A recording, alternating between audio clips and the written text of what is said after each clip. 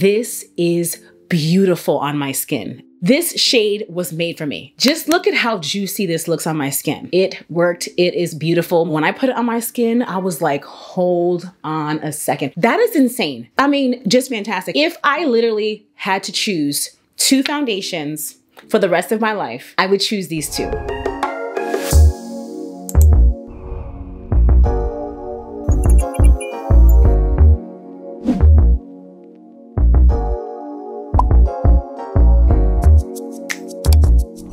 Yo, I have finally found two foundations that match me perfectly. Now, if you've been here for a while, then you already know that I usually make stuff work and y'all love that, right? Like I'll find a product, it might not be the greatest, there could be an issue with it, but I usually find a way to make it work. But I have finally got my hands on two foundations that match me perfectly. Literally feels like these were made for my skin. Let's get into it. The first is one that you already know. It's the Makeup Forever HD Skin Foundation. I've done a few campaigns with Makeup Forever, one of which is actually on the Website. So I actually need to go and look at it to see if it's up already because it was content creation. So I did it already and I haven't seen how it all came together, the whole compilation. But this is beautiful on my skin. As you can see here, it just glides on beautifully. It is hydrating. If you've been here for a while, then you know that in February of 2022, I was in Dubai and I wore this foundation in Abu Dhabi. We were at the desert. I mean, this wore so well under my masks. It wasn't rubbing off. This is fantastic. I don't know how else to say it. This has been ever since day one and continues to be one of my favorite foundations. It's one that I love when I want my skin to be hydrated hydrated and juicy, so it's great for warm weather. It came out when I was going to Dubai, so I wanted to wear it. Actually, I did a wear test when I traveled from here to Boston, actually, and then to Dubai. So I was in a whole wear test and it just, it worked.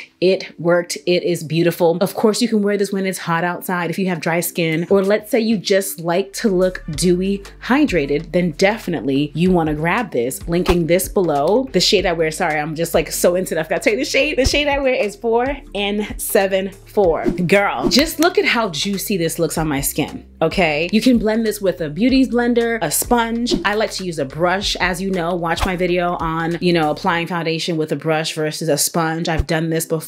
I just prefer a brush because I like to get a full coverage look, even if the product is medium coverage. I like to really pounce it into the skin to really pack it on. This does not feel heavy. It just feels like a light serum with pigment in it. This is juicy. If you have tried this Makeup Forever HD Skin Foundation. Let me know. It is undetectable, long wearing, and I can't recall if it's full coverage or medium. I'm just like off the cuff talking to you about this. This is so freaking good. I'm gonna link it below. If you've used this, love this, let me know. I wanna know your experience with it. The second one is tried and true Fenty foundation. This is the Fenty Pro Filter Soft Matte Long Wear Foundation. It's full coverage, and this is the shade 485. Again, if you've been here for a minute, you know that I've tried several of these Fenty shades. Back in the day, I think I was 450. That is insane because my skin is so chocolatey. I am nowhere near 450 right now. I do have a 450 in the powder foundation that I can use as a topper to really bring everything together. But in terms of that foundation matching my skin, mm -mm, and whack it. But as a powder foundation, and if you see how I wear my face powders, you'll get what I mean. But back to this right here, okay? This shade was made for me. I have tried 460, I've tried 470, I have 490. And in the summertime, I was using 490 because I wanted to be really dry. This is a kind of foundation foundation that when you put it on, you need to blend very quickly. It dries fast and it just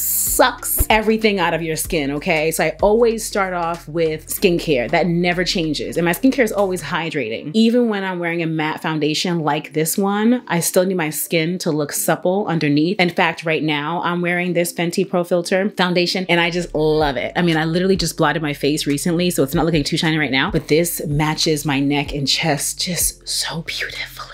This is a new shade, I believe. I got this recently with the Sephora sale, so I haven't had this very long. But when I put it on my skin, I was like, hold on a second. The two of these literally look the same on my skin, except this is hydrating, like a natural advantage hydrating, and then this one is matte. I mean, just fantastic. If I literally had to choose two foundations for the rest of my life, I would choose these two. Now, I love makeup and I hate the idea of being so, you know, yoked up with just two foundations. But if I had no choice, you feel me? I got a matte option. I got a hydrating option. What more do you need? You feel what I'm saying? I just don't understand what else to say. These are so stinking good. 485 and 4N74. Matte hydrating. You need to have these two in your, your kit. You need to have hydrating options and matte options because like I always tell you, you may want to be matte one day. You may want to be hydrated one day. You may have traumatized your skin with a new skincare product or using abrasive or rough cleansers or whatever exfoliating products, and then now you need to rehab your skin back to life, then you wanna be using a hydrating foundation like this one. Or let's say you're just really oily, it's hot outside, you live in the Caribbean or just somewhere warm, and you wanna equalize everything, then you wanna have a matte foundation like this one. I'm curious to know in the comments below if you find this to be too drying for you. Let me know. I'm also curious to know